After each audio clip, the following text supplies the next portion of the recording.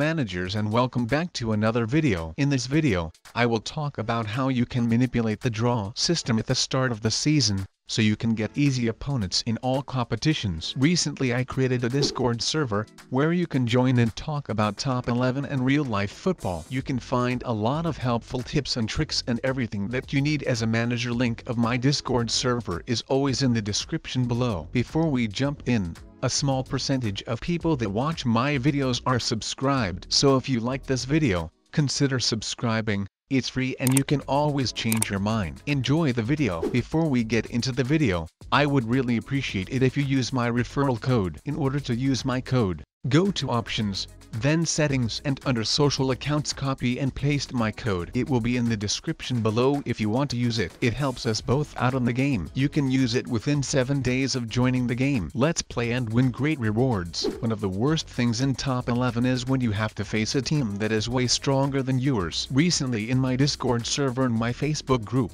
I have seen so many people complaining how they get unrealistic opponents in their leagues, Champions Leagues, cups etc. In this video I will go into detail and explain to you how I avoid having strong teams in my competitions where I can go and win every single trophy very easily. Some people will call this cheating, but personally I think it's completely fair and there is no cheating whatsoever because the current draw system is broken and makes no sense. Three season ago I didn't do this trick to try and see what kind of teams will I get in my competition, and I finished my season with 115% team overall and on the first day of the season, I faced my cup opponent who was at around 130% and I was down to like 98% due to the new season, which is very unrealistic. I know people will say well that's how the game works and in every league there are opponents who will be stronger than you and you should adapt to it, but it makes no sense to have players with over 50% quality than you. I would rather play in a league where there are 10 managers of equal team quality than one manager who is 50% above everyone else. But before we continue with the tutorial,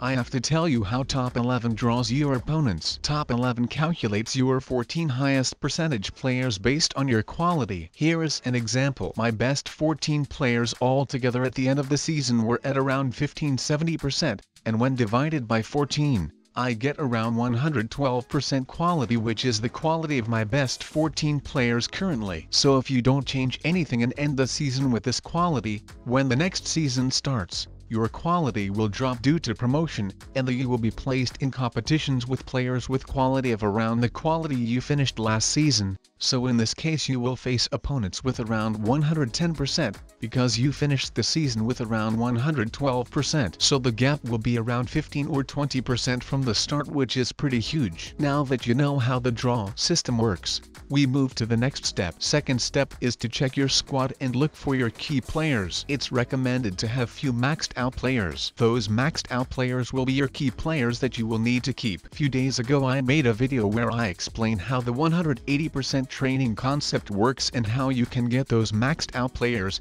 but it takes a lot of time and a lot of resources. In my scenario, these are my key players that I will be keeping for next season. But this manipulation also works even if you don't have any maxed out players. Third step for this manipulation to work is to check your squad for players with 1 or 2 stars. If you don't have any players with 1 or 2 stars, then you need to head to the transfer market and buy low 3 star players. After buying those 3 star players, you will head to the squad tab and sell all the players you don't need and keep the key players for next season. Here is an example. As you can see this is my starting squad before the new season. My quality is around 112%, so like I said earlier if I leave it like this and don't change anything, I will get opponents with this quality. Because I don't want that, I have to decrease my quality. So out of these 11 players, I will keep the players in the green circle because those are my key players. The rest of these players are not important to me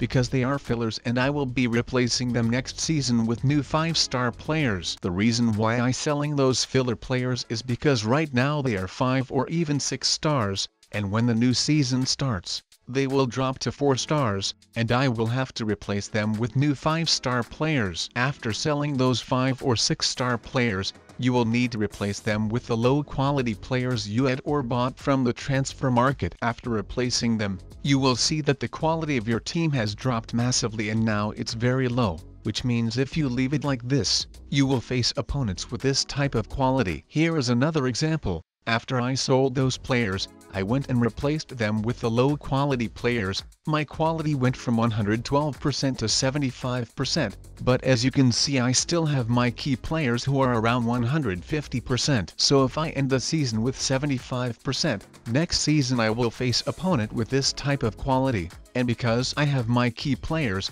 I only need to replace the low quality players with new players that are 5 stars to get back to 110%, which will make me the strongest team in every competition. New season started and now I will show you the quality of teams that I will face in the Cup and Champions League. The first team I face in my Cup match is 30%, which is amazing. Now let's go through the rest of the Cup and the Champions League to see what kind of opponents I got. The highest opponent for now is 80%, so for me to get the 80%, I only need to replace my 1-star players with the key players I have on the bench. After replacing them I have 78% of the team, which is way better than everyone else in my competition. This concludes that my manipulation worked really well. So now you can start finding fillers again that will replace the one-star players. After replacing your one-star players, your quality will improve massively. So pretty much that's everything about this manipulation. It's very simple, but every season you have to buy players to replace those one-star players,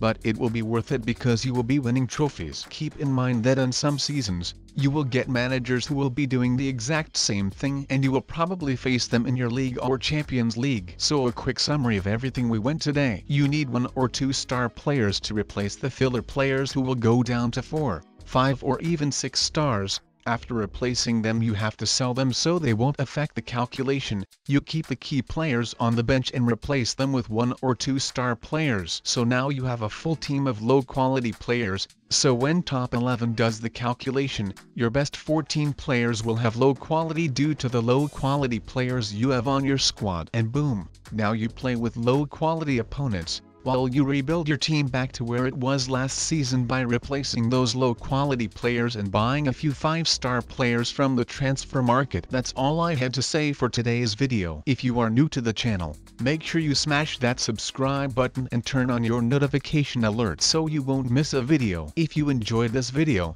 leave a like and let's try to hit 50 plus likes on this video. Make sure you join my Discord server, where you can talk about top 11 and real life football. Link of my Discord Discord server is always in the description below. If you have any questions, please comment down below. Thanks for watching and I will see you in my next episode. Take care and peace.